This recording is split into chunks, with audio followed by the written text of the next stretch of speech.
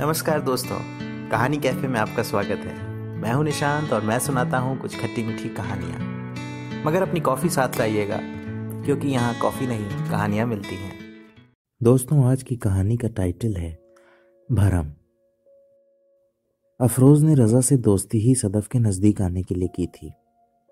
दरअसल उस पार्टी में वो सदफ को देखते ही फिदा जो हो गया था। तब से बस किसी भी तरह वो सदफ को हासिल करना चाहता था। अफरोज बेहद दौलतमंद था। सब कुछ था उसके पास। बस सदफ नहीं थी। हाँ सदफ थी ही इतनी हसीन और दिलकश कि कोई भी उसकी कमी अपनी ज़िंदगी में महसूस कर ले। और रज़ा? रज़ा तो बेहद शरीफ और सुलझा इंसान था। इतना शरीफ और सुलझा कि दुनिया उसे बेवकूफ़ समझ लेती। कई बार बहुत कुछ देखकर अनदेखा कर देता था। न किसी से दोस्ती थी, न किसी से बैर था उसका। कुछ था तो वो थी एक अहम मगर मामूली सी सरकारी नौकरी और एक बेहद हसीन बीवी जिससे वो बेशुमार मोहब्बत करता। एक बार जब सदफ को अपनी किसी ख्वाहिश को हमेशा की तरह पैसों की तंगी के चलते टालना पड़ा, तब मायूस होकर वो बोली, रज़ा, तुम्हें नहीं लगता तुम्हें एक बेहतर नौकरी करनी चाहिए? अपनी आमदनी बढ़ानी चाहिए?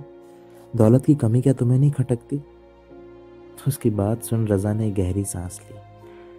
कुछ सोचा और फिर सदफ की नज़रों में भरपूर मोहब्बत की शिद्दत से डूबते हुए मुस्कुराकर कहा, दौलत की कमी? मगर मेरे पास तो तुम हो।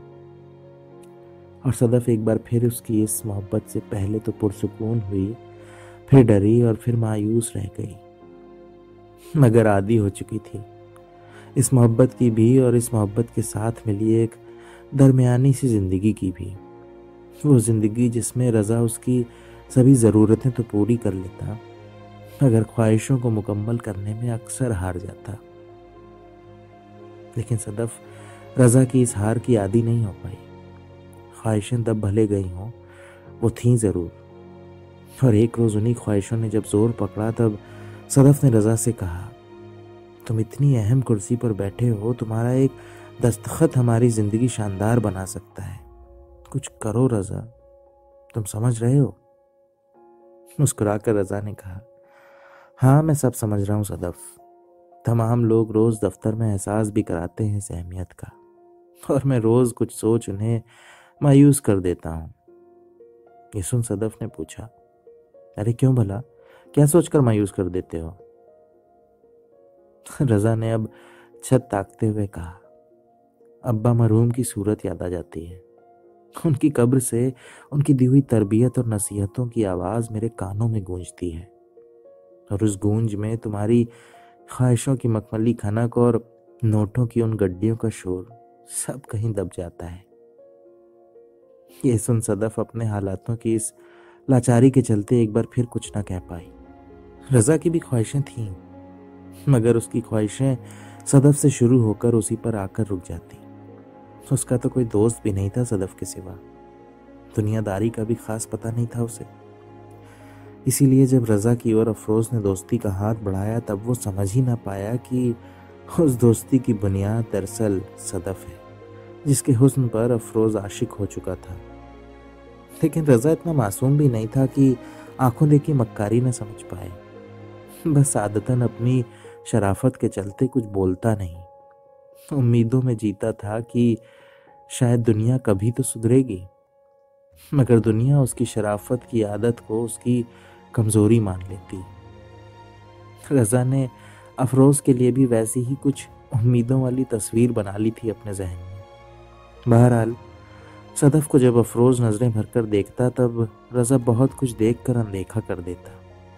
शायद उसके लिए सदफ से अपनी मोहब्बत एक बेहतर एहसास था देखने के लिए। इसलिए वो अफरोज़ को अनदेखा कर अपनी मोहब्बत में उम्मीदें तलाशता खैर, रज़ा और अफरोज़ की दोस्ती का दौर कुछ ऐसा चला कि दोनों का अब घर आना जाना शुरू हो गया। एक ऐसी ही मुलाकात के दौरान एक रोज़ उसने सदफ और रज़ा के आगे एक पेशकश की। अफरोज़ ने खाने की टेबल पर निवाला मुँह में रखते हुए हमेशा की तरह सदफ के हुस्न को अपनी नज़रों में समेटते हुए कहा, आप मेरे दफ्तर में मेरे साथ काम करिए। आपकी सलाहियतों का अंदाज़ा है मुझे और रजा के दफ्तर जाने के बाद फारिग रहती होंगी। अपनी फुर्सत में घर की आमदनी बढ़ाने में रजा का हाथी बटा लीजिए इसी बहाने। और फिर वो रजा की ओर देखकर बोला, क्या कहते हो रजा भाई? रजा ने मुस्कुराकर कहा, फ़िलहाल आमदनी में हाथ बटाने के इरादे से काम करने की ज़रूरत नहीं है इन्हें। हाँ दिल करे तो बिल्कुल करे आपकी नौकरी। ये सुन, सदफ चहकते हुए बोली, फिर तो मुझे मंजूर है ये पेशकश। सदफ की ये चहक सुन रजा बस मुस्कुरा कर रह गया। जल्द ही सदफ की नौकरी शुरू हो गई। और उससे भी तेज़ी से शुरू हुई उसकी तरक्की। और किसी बात में कमी आई तो वो थी, रजा और सदफ के घर अफरोज की आवाजाही। अब आखिर उसे जो चाहिए था, उसका उसने काफ़ी हद तक इंतज़ाम कर लिया था। और इधर सदफ को भी जो कुछ रजा से नहीं मिल पा रहा था, वो अफरोज से मिलने लगा। वो खुश रहने लगी। और उसे पता भी नहीं चला और वो अपनी खुशी की आदि हो गई। और उसी आदत के चलते वो अफरोज को भी खुश रखने लगी। अफरोज को अपनी दौलत में छिपी सदफ की ख्वाहिशों की चाबी की बदौलत आखिर वो सब मिलने ही लगा जो उसे चाहिए था। मगर ऐसा नहीं था कि रजा को कुछ समझ ना आ रहा हो। सिर्फ़ शरीफ नहीं, जहीन भी था वो। सब समझता था। मगर ना समझ बनने में ही अपनी मोहब्बत और अपने जज्बातों की इज़्ज़त समझता। मगर एक रोज रात में सोने से पहले उसने सदफ से पूछा, तुम्हारी तरक्की देख अच्छा लगता है। मगर ऐसी रफ्तार में होती तरक्की कुछ समझ में नहीं आती सदफ ये सुन पहले तो वो सक पकाई, मगर संभलते हुए फिर बोली रजा मेरी काबिलियत और सलाहियतों की बिना पर मेरी तरक्की हो रही है। और फिर अपनी आवाज़ में तलखी और एक बेरुखी के साथ वो बोली मेरे ख्वाब पूरे होते देख तुम्हें क्या जलन हो रही है? रजा ने अब मुस्कुराकर उसकी हथेली अपनी हथेली पर रखते हुए कहा, सदफ तुम ख्वाब देखो और उन्हें पूरा करो। मुझे बुरा नहीं लगेगा। तुम्हें कोई और ख्वाब दिखाए और उन्हें पूरा करे तो क्या मुझे बुरा नहीं लगेगा? ये सुन सदफ खींच कर खिड़की की ओर मुड़ गई।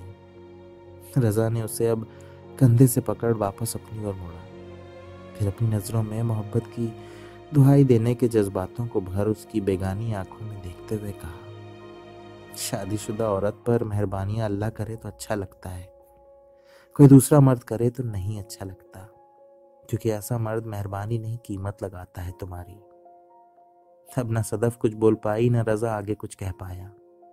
दोनों चुपचाप बिस्तर पर एक दूसरे की ओर पीट कर कुछ सोचते हुए सो गए। अगले दिन दोनों बिना बात किए अपने अपने दफ्तर चले गए। और जब अफरोज को इस बात का पता चला, तब वो हालात को बड़े ही हल्के में लेते हुए बोला, अरे, गलती मेरी भी है।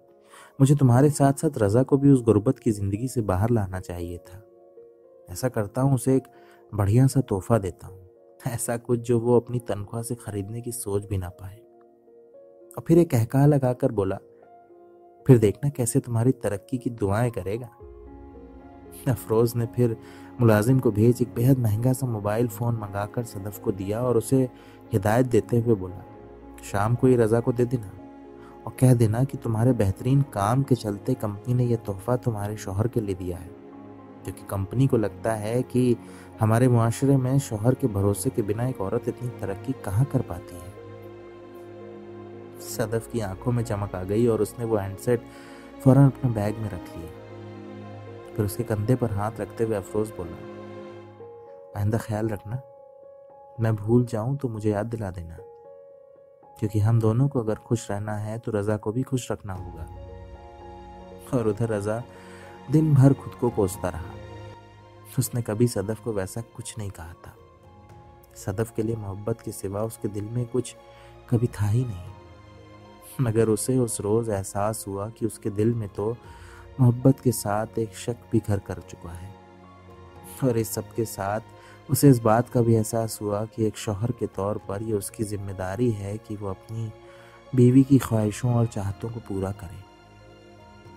मगर इस फ़र्ज़ में अपनी नाकामी ने उसे शर्मिंदा कर दिया। वो फिर किसी सोच में पड़ गया और दफ्तर के कामों में मशगूल हो गया। शाम को जब कुछ देर से घर पहुँचा तो दरवाजे पर मुस्कुराती हुई सदफ दिखाई दी। वो चहकते हुए बोली, तुम्हारे लिए आज एक सरप्राइज़ है। ये सुन रजा ने भी मुस्कुराते हुए कहा, मेरे पास भी तुम्हारे लिए सरप्राइज़ है, मगर पहले तुम बताओ। सदफ ने फ़ौरन पास रखे अपने बैग से उस महँगे हैंडसेट का बॉक्स निकाला और टेबल पर रजा के सामने रख दिया और फिर अफरोज की पढ़ाई कहानी सुना दी। रजा सिर्फ़ मुस्कुरा कर रह गया। सब समझ चुका था। जहीन था ना? मगर सदफ से मोहब्बत करता था, इसलिए कुछ बोल नहीं पाया। और सदफ को उम्मीद थी कि इतना महँगा तोहफा पाकर वो खुशी से उछल पड़ेगा। मगर जब वैसा कुछ नहीं हुआ तो उसने रजा से उसके सरप्राइज़ के बारे में पूछा। अब रजा ने सदफ को प्यार भरी नज़रों से देखा और अपने बैग से बिल्कुल वैसा ही हैंडसेट निकाल कर उसकी ओर बढ़ा दिया। सदफ के होश उड़ गए इस इत्तेफाक और तोहफे को देखकर। चौंकते हुए उसने रजा से पूछा, ये कैसे खरीद दिया तुमने? इसकी कीमत तो तुम्हारी दो महीने की तनख्वाह के बराबर है। ये सुन रजा को अचानक सदफ अपने से बड़ी दूर खड़ी दिखाई दी। और फिर दूर खड़ी उस सदफ ने अपनी सदफ को तलाशने की एक नाकाम कोशिश रजा ने की। और जब नाकामी हाथ लगी तो एक मायूस मुस्कुराहट के साथ सदफ से नज़रें फेर, खिड़की से बाहर देखते हुए बोला, मुझे भरम था तुम्हारे पास मैं हूँ, और मेरे पास तुम हो। भरम टूट गया इसलिए आज अब्बा की कब्र पर लात मार आया।